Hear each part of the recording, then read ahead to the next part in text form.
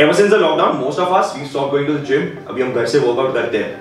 And घर से workout करने के चक्कर में what we do is usually many of us we don't have the dumbbells और all the equipments so we tend to just increase the number of reps so इसमें होता क्या है कि whatever are your desired goals to put on lean muscle mass और to to just in general gain muscle mass वो हो नहीं पाता है. Okay since you are always working in that space So in today's video, we are going to learn how to build muscle mass on our legs just using two bands. Now this video will be specifically for someone who does not want to actually invest in too many equipments like dumbbells or barbells. So all what you would require is two resistance band. एक होगा higher in resistance, एक होगा थोड़ा कम resistance का. Okay. Now coming to the point, resistance band इसमें भी बहुत सारी variety होती है. Okay, from different sizes, different shapes, different resistance. Now I'll show you few resistance band which I uh, usually have and which ones are we actually going to use and why are we going to use. This is what we are going to discover now.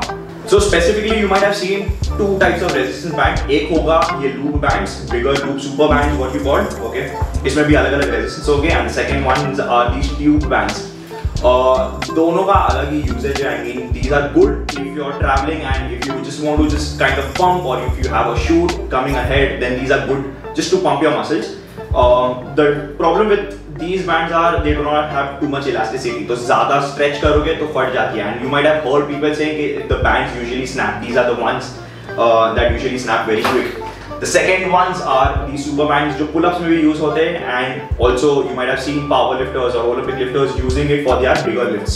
So for today's video we are going to use two resistance band, one which would be slightly lighter in resistance, one which would be heavier in resistance. Now depending on your strength, या तो आप और भी heavier resistance band ले सकते हो और या तो और भी lighter resistance ले सकते हो. The reason why we are using two resistance band would be एक जो heavier resistance band है उससे actually we are going to do the main four lifts or main four exercises and another four exercises which are going to be the accessory ones we are going to do it with a lighter resistance band. The first exercise that we're doing is body weight leg extensions. Now all what you need to do is get onto your palms and get into a pike position. So either you can use a bench or maybe you can use a chair or the couch or the bed, whatever is available right now with you.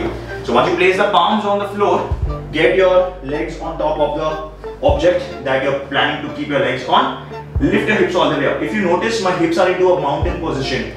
Now, the more back you get, more difficult it will get onto your shoulders. I would not recommend you to go completely back, but instead stay into a mountain position. From here, the movement goes like bending your knees. You're trying to drop your hips down. Again, lift your hips all the way up and lock your necks. Again, go all the way down and all the way up. Now, we are going to add some resistance. If you do it without the band, uh, it is going to actually make no sense. Now to add resistance, all what you're doing is using the band. So I would say um, start with a lighter resistance band, see how that feels and accordingly go heavier on the resistance. Now all what I'm doing is holding the band, looping the band behind my knee, exactly behind my knee at my knee crease. Okay, from here I place my palms on the floor. Just make sure you're completely drilling your palms on the band and on the floor so that the band does not snap back. From here you place your legs on top of the chair or the bench. And now if you notice the band is going to keep pulling your knee all the way in. Now what you're supposed to do is extend your leg lift your hips up. So as soon as the hips go up the maximum contraction is going to be into this position. So just go all the way down and lift your hips up contract stay there for a second. Again slow and steady all the way down and all the way up. Now in case if this is way too easy what you can do is either go for a heavier resistance band or if let's say you don't have heavier resistance band then just try to make a loop forward and from here stretch the band. So what this is going to do is it's going to increase the elasticity over here. And from here you're doing the same thing again. So lift the heels all the way up get your legs all the way up. And now just go all the way down drop your knees down lift your hips up extend your legs. The next movement that we're doing is Bulgarian split squats. Now to do this movement, all what you're supposed to do is get your legs on top of the bench or the couch. Two ways you can do it, okay? One, your toes can be pointing back. Second way of doing it, the toes can be pointing all the way down. Now if your ankle mobility is bad, then probably getting your toes pointing down would be more comfortable. I would prefer getting my toes all the way back, okay? Now once I place the leg on top of the bench, I'm hopping slightly forward. Now again there are two ways in which you can do. One would be more glute dominant, one would be more quad dominant. Now let's say if you want to make it more glute dominant, all what you're supposed to do is just hop slightly forward. You're supposed to hinge slightly forward. Okay, this is going to emphasize more on the butt and lesser on the quads. and from here you completely stand up. The goal should be getting the knee closer to the bench. So as soon as you go down, just try to push your hips all the way back and stand up. Two things you would want to make sure. One, you're not arching your back while going down, okay, like this. And at the same time, just make sure the legs are not too close, otherwise balancing would be slightly problematic. Now, if you want to actually emphasize more on the quads, hop slightly back, keep the leg closer to the bench. Now let the knee slightly cross over the toes. This is going to emphasize more on the quads. From there, you stand up. Everyone's range of motion would be slightly different. If your hip flexors are way too stiff, then you might not be able to go all the way down. Absolutely fine. Second thing, if the object that you're placing your leg on is way too high, the knees might not be able to touch all the way down the way I'm able to touch it. Now let's learn how to use the band. Now there are two ways in which you can use the band. Number one is you can just wear the band, keep it slightly lower than your neck on your traps. From your place the other end on your foot. Now again getting the same sort of setup, the way we did with the body weight. From here, you're going all the way down as low as possible. Focus on the leg which is ahead. Stand up completely. Make sure your shoulders, hips, heels get into one line. You just go all the way down and come all the way up. That's the slightly easier version. Now if you want to actually make it really challenging, all what you're supposed to do is hold the bands. Now place one leg on top of the band.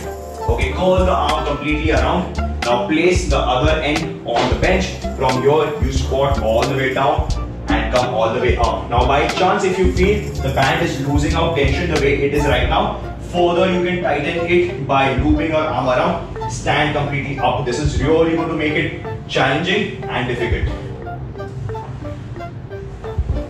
The next exercise that we are doing is specifically for your hamstrings and for your glutes. The exercise is heel elevated glute bridges. Let's learn the basic version and then we'll add bands to it. Now to do this, all what you need is a bench or a chair again. You're lying down on the floor and from there you're placing your heels on top of the bench.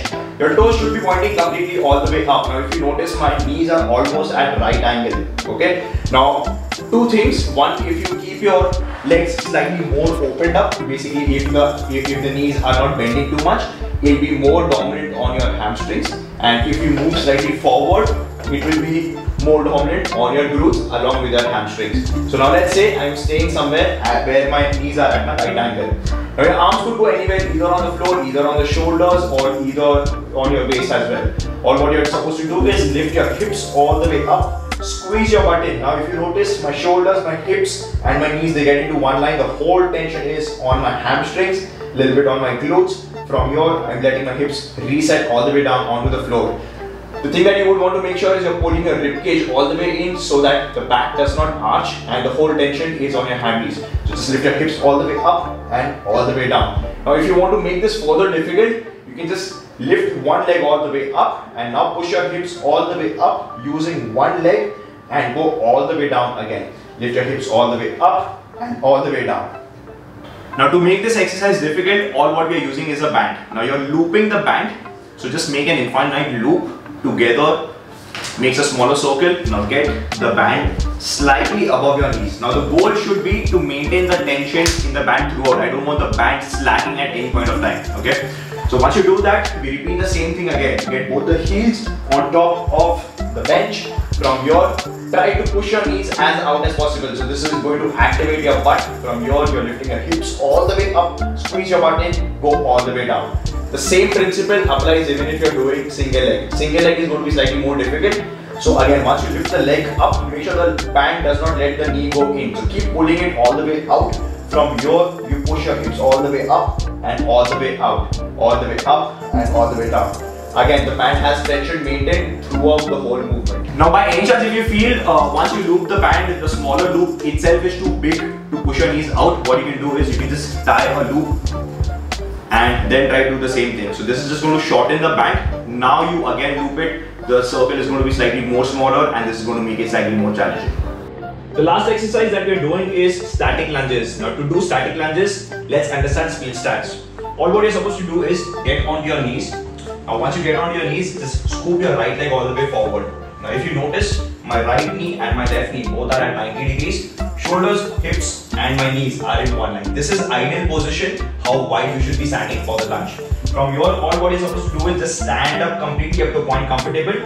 technically your front leg would never extend completely, only the back leg would completely extend. From here you again go all the way down, all the way up. Again just all the way down, all the way up. The difference between static and dynamic lunge would be static would have constant tension throughout the whole movement whereas dynamic would be more explosive. Now again there are two ways in which you can do the static lunge. Now if you want to actually focus on building quads uh, while doing this movement then make sure the stance is slightly narrower. Let the knee cross over the toe while going down and come up lock your legs completely. Now if you want to make it more glute dominant, go slightly wider on the stance Try to lean slightly forward, push your hips more back while going down and from there you're standing up and locking your legs.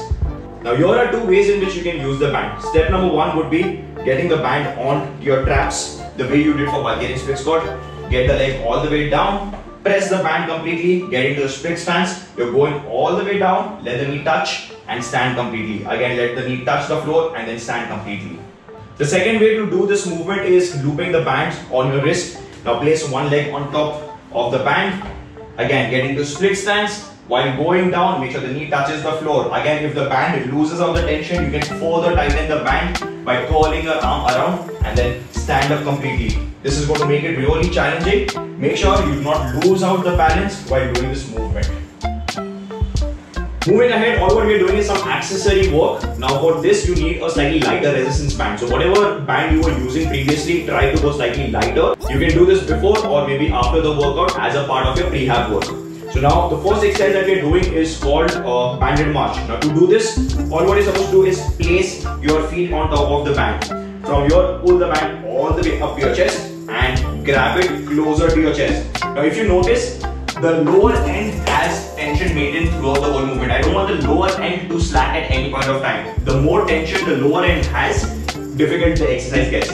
But again, you're not supposed to make it that difficult where, where it's getting really challenging for you. So from here, once the lower end has some sort of tension, all what you're doing is tuck the arms completely into your chest. And from here, you're supposed to lift your leg all the way up and down. Make sure the legs do not go closer, keep it apart and the tension maintained throughout the whole movement. So you can do this for about 30 to 60 seconds depending on how difficult the movement is. The next exercise that we are doing is called monster walk. Now to do this, all what you're supposed to do is loop the band. So you're supposed to tie a knot, make a smaller circle. Now once you make that, just get the band slightly above your knees. Again, the goal remains the same. The band should not lose tension throughout the whole movement.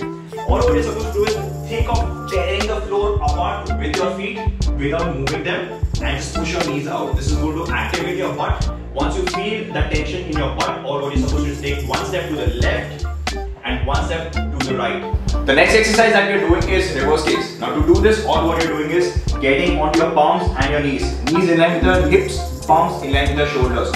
Throughout the whole movement, try to pull your rib in so and squeeze your butt in. Now all what you're supposed to do is lift one leg all the way up, kick it all the way back. Straighten the leg rather than lifting it too high or getting it too out or too in. Okay, from here, get it in and all the way straight back. In and all the way straight back. Now all what we're doing is adding some resistance. Now to do this, you're just getting the band onto your wrist. The other end goes onto your foot and from here all what you're doing is kicking the leg all the way back and get it slowly all the way in. Again, the leg goes all the way back and all the way in. Now, if you want to make this slightly more challenging, you can just pull the band slightly more ahead, press the band completely all the way forward, let the band slack slightly from the forward and the back end of the band should have a lot of tension. From here, you're just kicking your leg all the way back straight and get the leg all the way forward. Now coming to the sets and reps and the frequency of all these exercises. According to me, what I would recommend you to do is about 3 to 5 uh, sets of about 8 to 12 repetitions depending on how heavy the resistance get. Each and every week try to make the resistance slightly more difficult and you can try to do about 2 to 3 sessions of these exercises every week. Anyways guys, that was today's video. I hope you enjoyed watching it. I hope you found it really helpful and if you did then please do not forget to hit like, share this video with your friends and until next time, see you there.